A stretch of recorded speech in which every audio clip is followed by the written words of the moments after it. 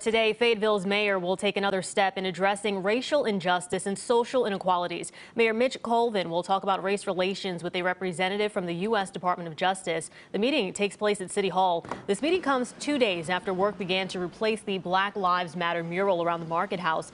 The original mural was taken down in January, but the city decided to replace it after people reached out to them. Council members are looking at options to put up a permanent social justice plaza near downtown.